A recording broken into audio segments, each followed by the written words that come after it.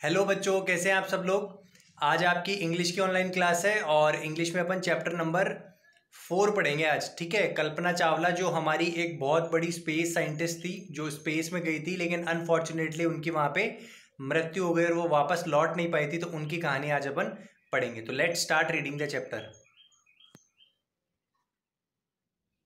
चलिए बच्चों तो स्टार्ट करते हैं अपना chapter number four Kalpana Chawla an Indian American woman in space Indian American मतलब ये इंडिया को भी बिलोंग करती थी अमेरिका को भी। क्यों? क्योंकि इसके मदर्स व फादर्स मदर या फादर में से कोई एक इंडिया को बिलोंग करते थे और फादर शायद अमेरिका के थे। तो इसलिए वो इंडियन अमेरिकन थी, हमारे देश की बेटी थी।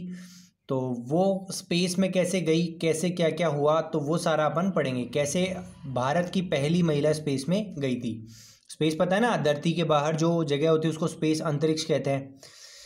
In 1997 an Indian American Kalpana Chawla was part of the international crew aboard the US space shuttle Columbia becoming the first women born in India to go into space मतलब वो India में जन्मी थी, लेकिन आगे जाके अमेरिका में settle हो गई थी तो इंडियन अमेरिकन कल्पना चावला 1997 में पहली वो महिला थी जो कि पार्ट थी, हिस्सा थी किसका? अंतर्राष्ट्रीय ग्रुप, एक मंडली थी जो यूएस स्पेस शटल, ये स्पेस का नाम एक रॉकेट का नाम है जो कोलंबिया से उड़ा था स्पेस में जाने के लिए और वो इसके साथ ही पहली महिला बन गई थी जो कि इंडिया में जन्मी थी, जो स्पेस में जाने वाली, गई थी।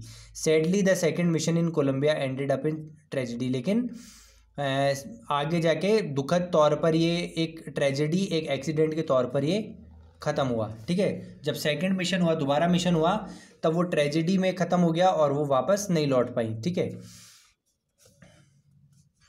तो an Indian American women in space Kalpana Chawla. A space shuttle is a spacecraft that is made for repeated space travel unlike a rocket for example between earth and the space एक space shuttle वो होता है, एक ऐसा space craft है, यानी अंतरिक्ष यान है ऐसा जो बार बार स्पेस में जाने के लिए काम में आता है।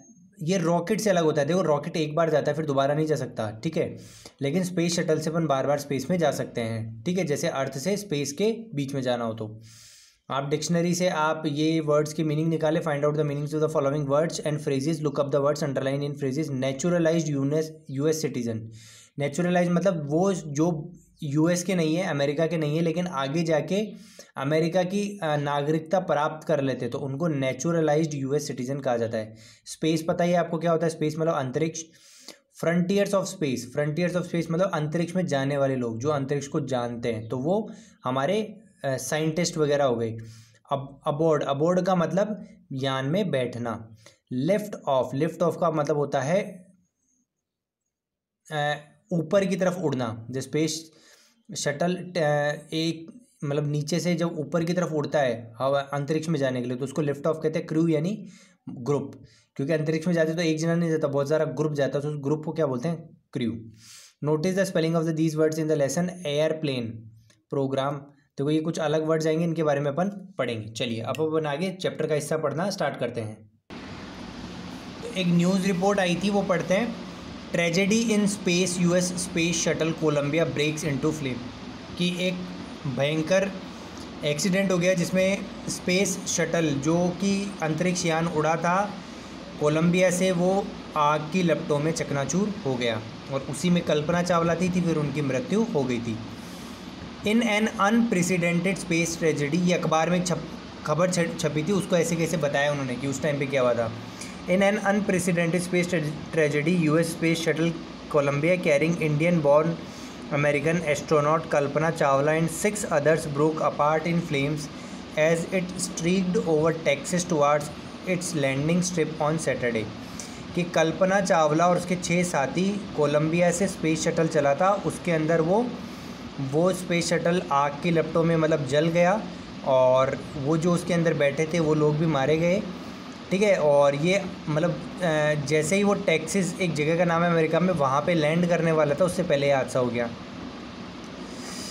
On Saturday one February two thousand थी। एक फरवरी दो हज़ार तीन को ये हादसा हुआ था killing all seven on board और सारे के सारे जो उसमें बैठे थे यान में, वो सारे के सारे मारे गए।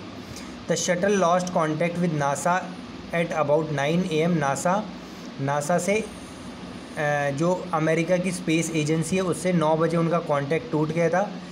As it came in for landing जैसे वो लैंडिंग के लिए आने वाले थे, उस टाइम पे कॉन्टैक्ट टूट गया। It was flying at an altitude of over two lakh feet ये लगभग दो लाख फीट ऊंचाई पर था and travelling over twenty thousand kilometre per hour और बीस हज़ार किलोमीटर पर आवर की स्पीड से उड़ रहा था। When ground when ground control lost contact with the shuttle और जब ज़मीन पे बैठे हुए जो हमारे नासा के लोग थे, उन्होंने कॉन्टैक्ट उनका उससे छूट गया। उसके बाद वो कैसे मरे, ये ज़्यादा कुछ पता नहीं चला। Columbia had lifted off from sixteen January two thousand three from the Kennedy Space Center Florida अब ये अंतरिक्ष यान 16 जनवरी 2003 को उड़ा था। मतलब ये आते टाइम उनकी मृत्यु हुई थी तो 16 जनवरी को गए थे और फिर जब एक फरवरी को वापस आ रहे थे ये मारे गए थे। तो कैनेडा स्पेस सेंटर फ्लोरिडा से उड़ा था। It had stayed in orbit for 16 days and seven member crew conducted 80 experiments before it began its downward journey तो 16 दिन तक ये अंतरिक्ष में रहे और वहाँ पे उन्होंने लगभग 80 एक्सपेरिमेंट किए अलग अलग ताकि स्पेस के बारे में जानकारी जुटाई जा सके। उसके बाद वो वापस नीचे आने लगे। This was Columbia's twenty eight space flight and the shuttle was set to be good for hundred flights और ये कोलंबिया की जो वो स्पेस मैंने कहा था ना बार बार जा सकती तो ये अट्ठाईसवीं अंतरिक्ष में जाने वाली स्पेस फ़्लाइट थी, जबकि ये कहा जाता था कि वो जो अंतरिक्ष यान था, वो सौ फ़्लाइट तक अच्छे से कर सकता था। लेकिन पता नहीं वो अट्ठाईसवीं फ़्लाइट में कैसे ब्लास्ट हो गया, फूट गया। ठीक है? चलिए, अब आगे अपन पढ़ते हैं। तो ये रिपोर्ट आई थी उस टाइम पे जब कल्पना चावला की मृत्यु हो गई थी स्पेस में जाने के बाद। अब अपन शुरू से उसकी कहानी पढ़ते हैं। ठीक है? ये तो हो गया एंड शुरू से वो जन्मी, कैसे, वो कैसे पढ़ी, कैसे स्पेस साइंटिस्ट बनी तो वो शुरू से अपन इसमें पढ़ेंगे। Kalpana Chawla said that she never dreamed as a child in Karnal that she would cross the frontiers of space Kalpana Chawla ने कभी जीवन में जब वो करनाल में जन्मी थी, छोटी बच्ची थी तो कभी सपने में भी नहीं सोचा था कि वो एक बार फ्रंटियर्स ऑफ़ स्पेस यानी अंतरिक्ष की सरहदों को पार करके, यानी पृथ्वी से बाहर अंतरिक्ष में जाएँगी। It was enough that her parents allowed her to attend engineering college after she graduated from Tagore school वो टैगोर स्कूल से पढ़ी हुई थी तो उसके बाद उसके लिए मतलब यही बहुत बढ़िया बात था कि पेरेंट्स को बड़ी मुश्किल से मनाकर वो इंजीनियरिंग कॉलेज में दाखिला लिया उसने। और लेकिन इतना नहीं सोचा था कि इतनी बड़ी वो साइंटिस्ट बन जाएँगी। तो वो भारत के टैगोर स्कूल से पढ़ी, उसके बाद इंजीनियरिंग कॉलेज में पढ़ाई करने गई। After a bachelor of science degree in aeronautical engineering against great opposition from our father she went for a master's degree to the United States of America science की India में bachelor of science B S B S C की degree लेने के बाद aeronautical engineering मतलब वो engineering जिसमें अंतरिक्ष यानों की पढ़ाई की जाती है। अंतरिक्ष की पढ़ाई करते हैं ना, उसको एरोनॉटिकल इंजीनियरिंग कहते हैं। तो उसमें डिग्री हासिल करने के बाद उसने कहा कि मैं अब मास्टर वाली डिग्री देखो बैचलर के बाद मास्टर वाली डिग्री होती है तो उसके लिए यूनाइटेड स्टेट जाऊँगी पढ़ने के लिए, अमेरिका जाऊँगी। तो उसके पिता ने बहुत मना किया, बहुत विरोध किया, लेकिन फिर भी उसके बावजूद भी वो अमेरिका गई। She later earn her P H D in aerospace engineering और आगे जाके उसने पी एच डी हासिल की। एरोस्पेस इंजीनियरिंग मतलब कि कैसे अंतरिक्ष में जाया जाता है, उससे रिलेटेड जो भी पढ़ाई होती है, उसमें डी हासिल की। Kalpana Chawla was the first Indian American women astronaut to blast off from the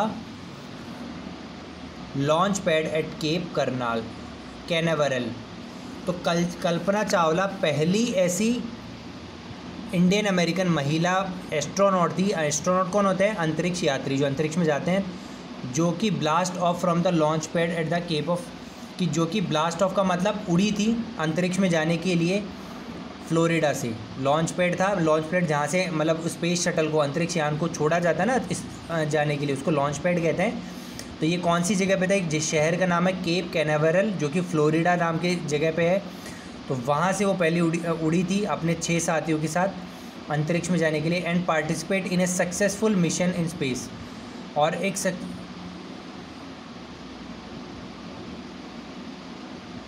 और सक्सेसफुल वो जो उड़ गई थी तो उसके लिए उसमें पार्टिसिपेट किया। तो पहली वैसी महिला थी। Her family from India cheered along with staff at Kennedy Space Center उसकी फैमिली जो कि इंडिया में रहती थी, वही अमेरिका में रहती थी। उन्होंने यहाँ पे खूब खुशियाँ मनाई, उसका उत्साह बढ़ाया।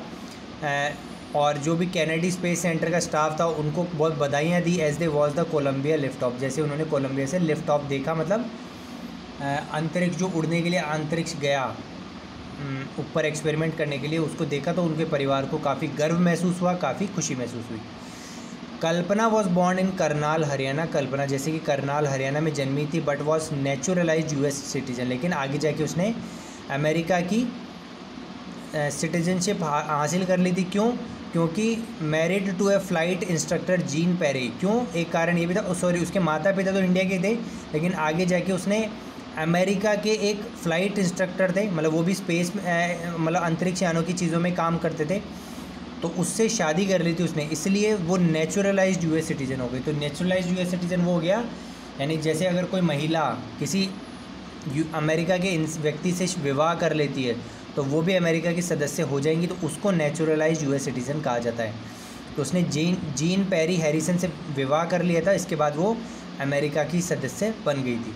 Besides being an astronaut she was license to fly single and multi engine land airplanes वो एक एस्ट्रोनॉट तो थी, अंतरिक्ष यात्री तो थी अंतरिक्ष में जाने के लिए, लेकिन वो एक सिंगल या मल्टी इंजन वाले प्लेन भी उड़ाने का मादा रखती थी, उसके पास लाइसेंस थे। यानी कि वो एरोप्लेन भी उड़ा सकती थी।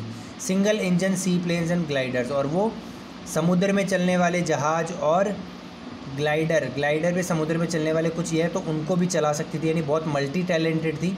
She was also certified flight instructor flight instructor होता है जैसे स्पेस में जो यान जाएगा उसको उड़ाते कैसे तो उसकी जानकारी देने वाले को फ़्लाइट इंस्ट्रक्टर कहते तो वो भी उसने, उसका भी सर्टिफिकेट उसे मिला हुआ था।